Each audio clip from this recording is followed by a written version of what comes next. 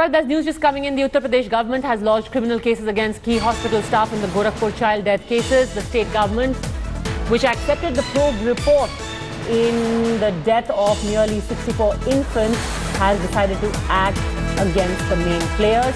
The principal of BRD Medical College, Rajesh Mishra, his wife, Dr. Kafil Khan, who was in charge of the children's ward, have all been named in the criminal case. The oxygen supplier, Pushpa Sales, chief of anesthesia department and the chief pharmacist also face criminal charges. The accused have been booked for cheating, attempt to commit culpable homicide, criminal conspiracy and corruption.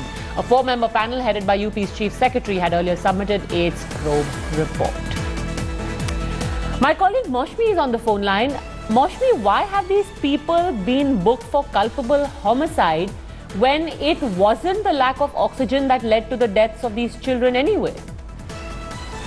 See, uh, Padmaja Dan explains the entire case itself because uh, right from the beginning we were saying that uh, the government instead of giving a clean sheet on the one should actually investigate and probe the entire thing. Now, if we are putting uh, somebody for culpable homicide, that really means the conduct is right and the uh, and the case involved, there was there was negligence on the part of the hospital authorities.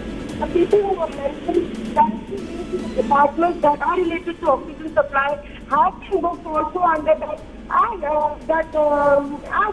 That really means uh, that somewhere uh, during the probe it was found that because of the uh, stopping of the oxygen supply for three hours in the middle of the night, there was an impact on the patients who were actually addicted and, uh, and thereby the death toll actually suddenly rose uh, to 32 on that night and a total of 62 deaths happened in, two- in 48 hours. Okay. So uh, clearly somewhere, you know, the government uh, after the total hogwash trying to actually uh, put the things, put things straight and uh, looking at doing something here. All right, Moshmi, thank you very much for joining us on that story.